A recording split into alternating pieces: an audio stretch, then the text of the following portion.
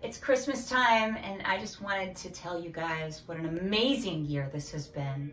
Thank you so much. We've traveled the world together, we've played all over. This has just been such an incredible year, and I wanted to say a very heartfelt thank you. My favorite thing in the world is playing on stage with my friends, my incredible bandmates, and playing for you guys. And I can sit and drink wine before the shows and hang with you guys. So thank you for an amazing year. You made a lot of dreams come true this year. Have a beautiful holiday, and I will see you in 2023.